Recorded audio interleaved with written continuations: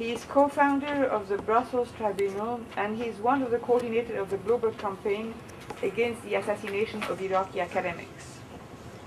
He wrote several articles on Iraq and cooperated on the book Cultural Cleansing in Iraq.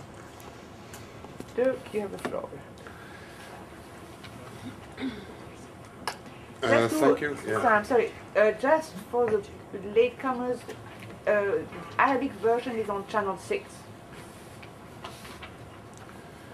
Thank you. I have a, a rather long presentation, um, but I'm going to skip some parts and go very fast uh, through some some of the things I want to say. And I thank the previous speakers for uh, having laid some, some groundwork of international law. And I, I will give you first some facts, and then I will uh, get closer into some of the things that are important uh, concerning uh, human rights and very important for the, the review that is going to take place. Um, just days after the devastating attacks of 9-11, Deputy Defense Secretary Paul Wolfowitz declared that a major focus of US foreign policy would be ending states that sponsor terrorism. Iraq was labeled a terrorist state and targeted for ending. President Bush went on to declare the major front of the global war on terror. US forces invaded illegally with the express aim to dismantling the Iraqi state. After World War, uh, World War II, uh, focus of social sciences was on state building and uh, development models. Little has been written on state destruction and de-development. We can now, after seven and a half years of war and occupation, state for certain that state ending was a deliberate policy objective. I will talk about uh, very briefly about destruction of educational infrastructure and targeted assassinations of academics, uh, about elimination of the middle class, about the cultural destruction and erasing of collective memory, about the political reshaping of the state along ethnic lines and neoliberal economic structures.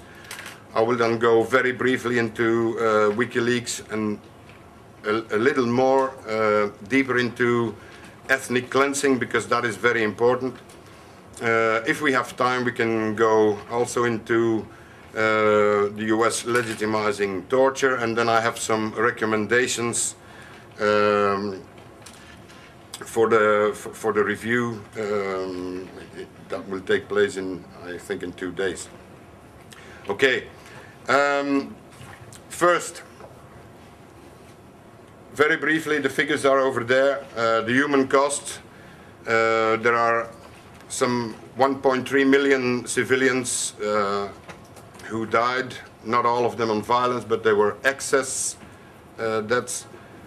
Um, there was a degradation of uh, social infrastructure like uh, electricity, potable water, and sewage system. Uh, some 8 million people um, are in need of humanitarian assistance. This is according to uh, Oxfam reports. There is abject poverty. Uh, 54% live on less than $1 a day. There are 2.5 million refugees, uh, 2.7 internally displaced persons. And according to the UN Habitat report, uh, um, entitled State of the World Cities 2010-2011, um, prior to the invasion of Iraq, um, the percentage of urban population living in slums hovered just below 20%. Today, after seven and a half years of occupation, that percentage has risen to 53%, meaning that 11 million of the 19 million total urban dwellers live in slums. This is uh, bringing democracy. Okay, I will now very briefly go to uh, destruction of educational uh, infrastructure and targeted assassination of academics. The UNESCO report of February 2010 on Iraq was very clear. Um, they, they gave some facts. Uh, for instance, the director of the U university, uh, UN University National Leadership uh, said that 84% of higher education institutions uh, were destroyed since 2003. 700 primary schools have been bombed. 3,000 primary schools have been looted. That there were since 2003, 31,598 violent attacks on educational institutions. The number of teachers in Baghdad have fallen by 80%. According to this report also, in the Diyala province alone, 70 uh, educational institutions have been occupied by military forces. This is all, all violations of international law and violations of the Geneva uh, and, and the Hague Conventions. The, of course, we started the campaign um, of the assassinations of uh, Iraqi academics.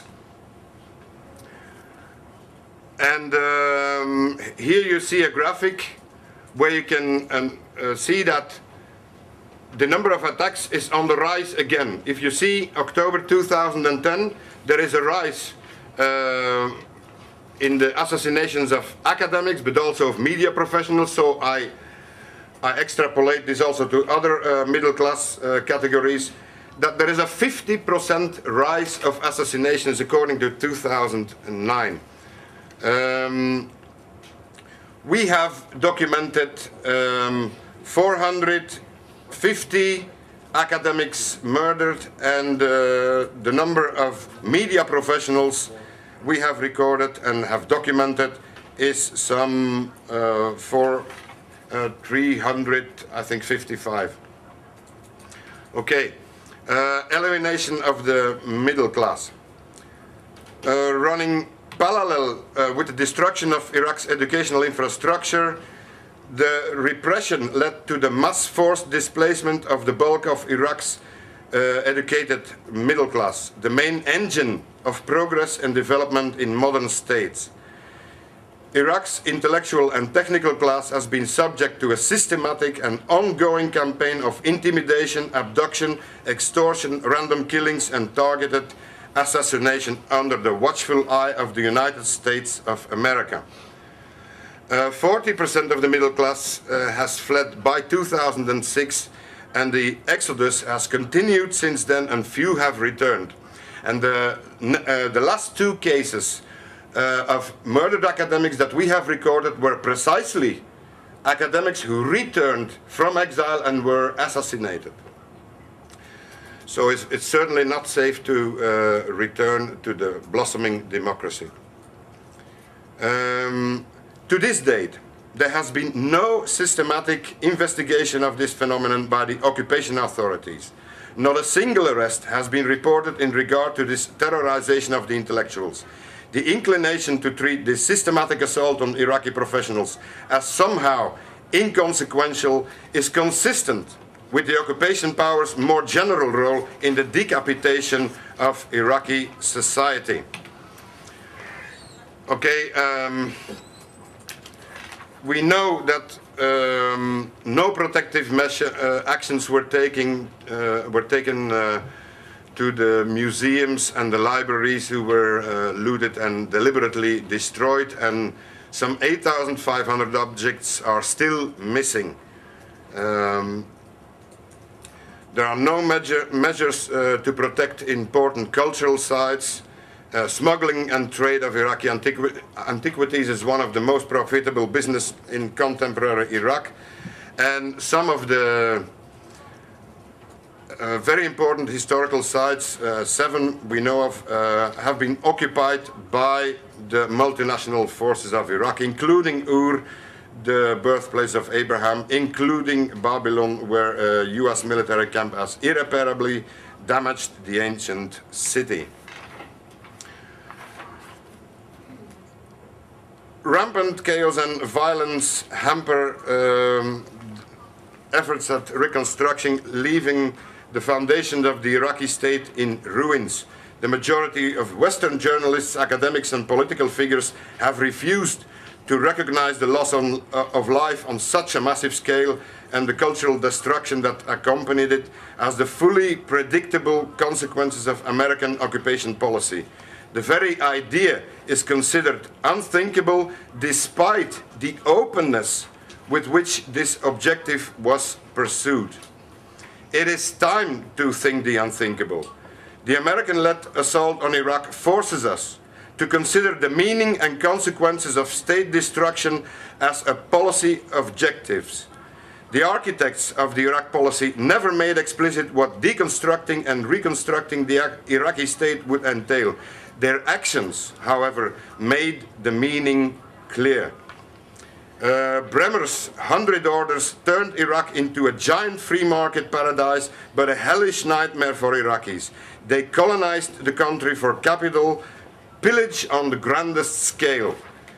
New economic laws instituted uh, low taxes, 100% foreign investor ownership of Iraqi assets, the right to expropriate all profits, unrestricted imports, and long-term 30 to 40 year deals and leases dispossessing Iraqis of their own resources. Contemporary Iraq represents now a fragmented pastiche of sectarian forces with the formal trappings of liberal democracy and neoliberal economic structures. We call this the divide and rule technique used to fracture and subdue culturally cohesive regions. This reshaping of the Iraqi state resulted in a policy of ethnic cleansing, partially, partially revealed by the WikiLeaks files. I will, I will be very short, otherwise I will... Uh, uh, yeah, okay. Um, so we now, we now know that the US was uh, so-called ordered not to investigate torture done by uh, the Iraqi stooges. Uh, there were civilians shot at checkpoints, there was prison abuse by coalition forces and by Iraqi forces. And then the two main things that were reported in the press was that uh, the number of civilian casualties was higher than reported, uh, but not high enough uh, already according to the most, more scientific studies like the Lancet uh, studies, um, and that the Iraqis are responsible for most of the uh, civilian deaths. However, the WikiLeaks files reveal only uh, SIGACT, the, significant action in wartime, uh, as told by soldiers in the United States Army, the reports of the regular US troops. US um, involvement in special operations, counterinsurgency war and death squads is not uh, in these files.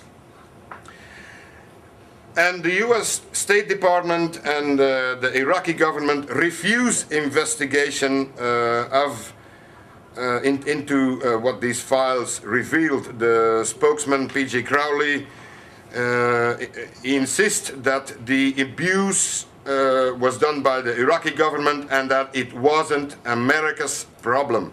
Of course, this response is infuriating. Um, it became clear, we have to go back to, to 2003. The 87 billion supplemental appropriation for the war in November 2003 included $3 billion for a classified program, funds that would be used for the paramilitaries for the next three years. And over that period, over that period, uh, the news from Iraq gradually came to be dominated by reports of death squads and ethnic cleansing, described in the press as sectarian violence that was used as the new central narrative of the war and the principal justification for continued occupation.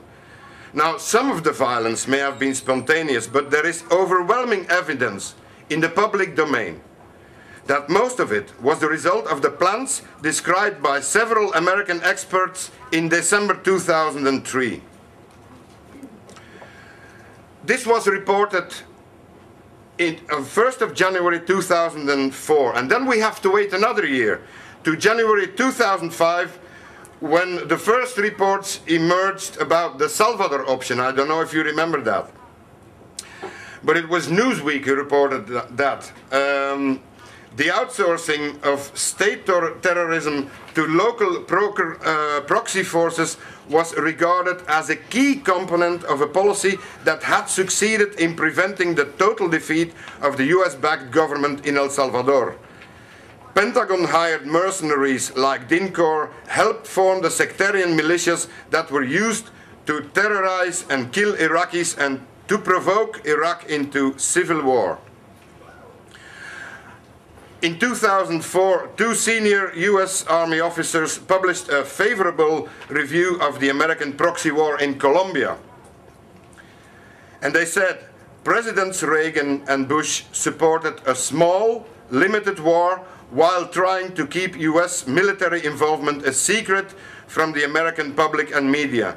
Present US policy towards Colombia appears to follow the same disguised, quiet, media-free approach. This reveals the fundamental nature of dirty war, like in, in Central America and the worst excesses of the Vietnam War.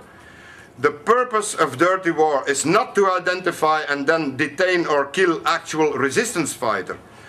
The target of dirty war is the civilian population. It is a strategy of state terrorism and collective um, punishment with the objective to terrorizing the people into submission. The same tact tactics used in Central America and Colombia were exported to Iraq. Even the architects of these dirty wars in Central America uh, and Iraq, and you can see them there, uh, namely John uh, Ambassador John Negroponte, and here you see uh, on the left uh, uh, James Steele with General Adnan Thabit of the Wolf Brigade, and uh, on the right Stephen Casteel. Uh, they organized and used the money to create the special police commandos in which later in 2006 death squads like the Badr Brigades and the Wolf Brigade were incorporated. US forces set up a high-tech operations center for the special police commandos at an undisclosed location in Iraq. American technicians installed satellite telephones and computers with uplinks to the internet and US forces networks. The command center had direct connections to the Iraqi Interior Ministry and to every forward operating base in the country. As news of, uh, of atrocities by these forces in Iraq hit the newsstands in 2005, Stephen Casteel would play a critical role in blaming extrajudicial killings on insurgents with stolen police uniforms, vehicles and weapons. He also claimed that torture centers were run by rogue elements of the Interior Ministry. Even as accounts came to light of torture taking place inside the ministry headquarters where he and other Americans worked. US advisors to the Interior Ministry had their offices on the 8th floor, directly above a jail on the 7th floor where torture was taking place. The uncritical attitude of the Western media to American officials like uh, uh, Stephen Casteel prevented a world war, uh, a worldwide popular and dip diplomatic outcry over the massive escalation of the dirty war in Iraq. Consistent uh, with the disguised, quiet, media-free approach mentioned before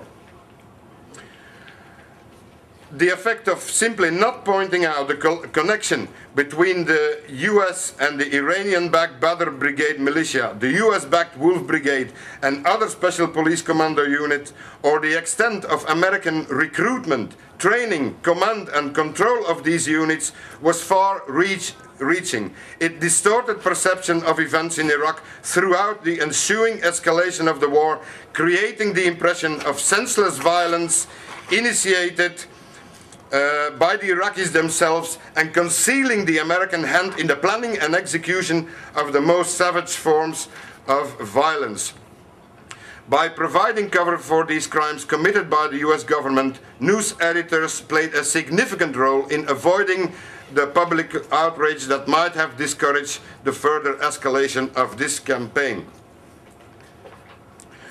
As in other countries where US forces have engaged in what they refer to as counterinsurgency, American military and intelligence officials recruited, trained, equipped, and directed local forces which engaged in a campaign of state sponsored terror against the overwhelming proportion of the local populations who continue to reject and oppose the invasion and occupation uh, of, their uh, of their country. I will, I will skip uh, the, the search period from 2007.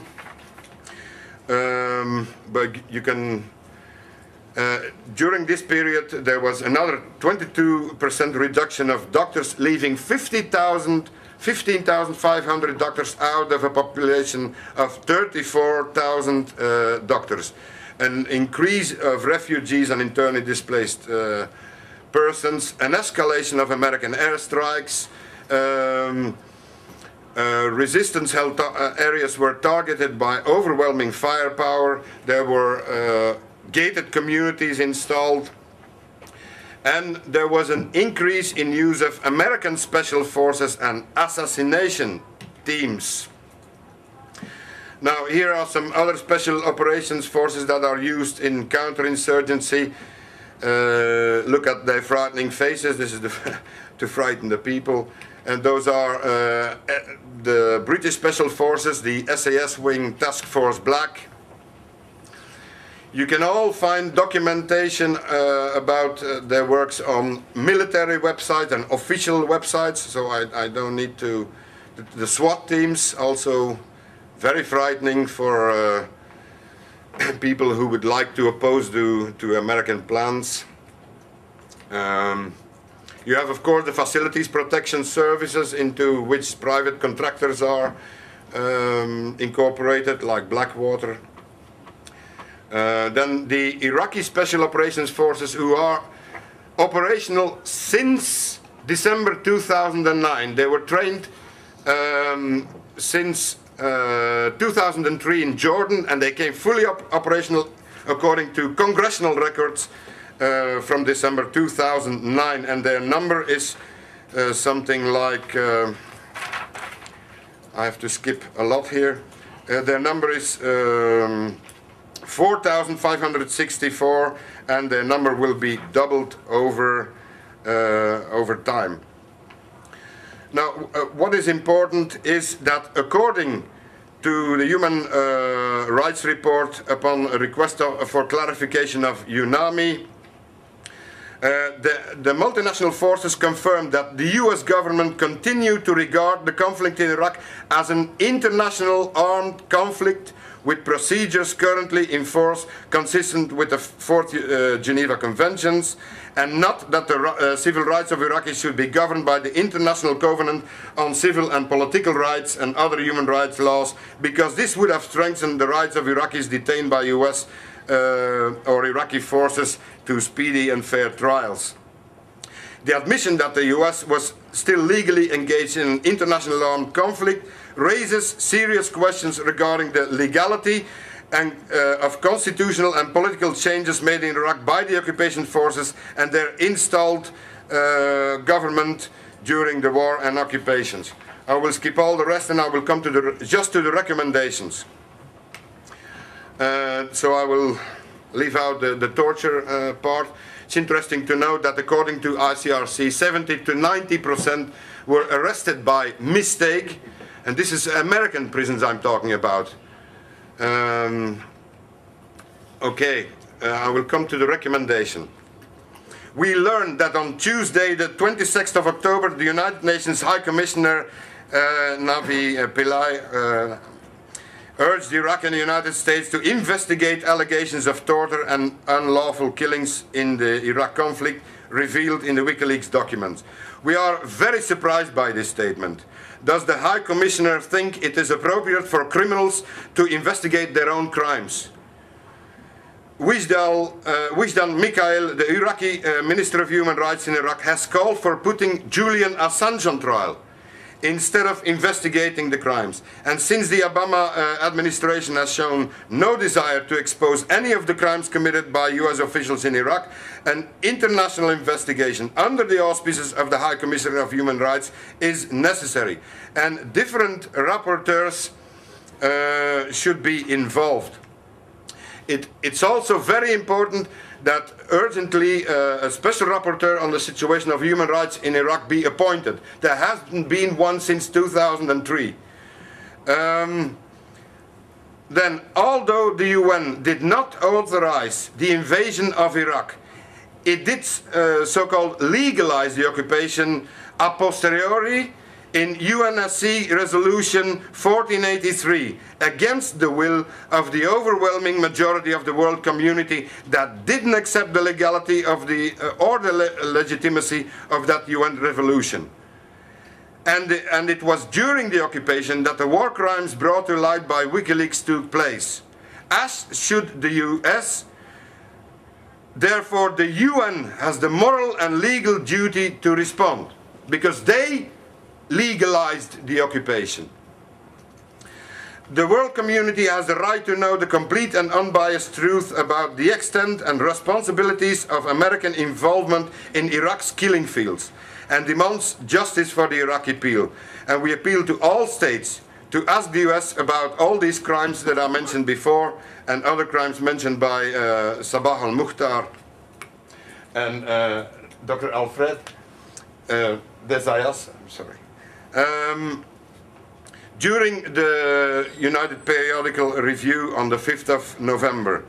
And we also demand that procedures be set up to compensate the Iraqi people and Iraq as a nation for all the losses, human and material destruction and damages caused by the illegal war and occupation of the country led by the US-UK forces. In this presentation, all these things are in the public domain and you can find them also in official records. You can go through military files, congressional records, it's all there.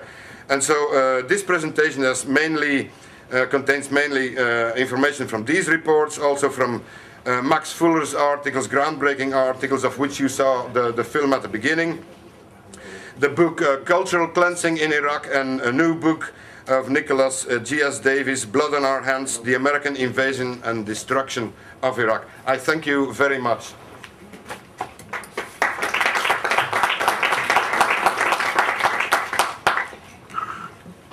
Thank you, Dirk. Sorry to have rushed you through No, that. no, no, it's okay.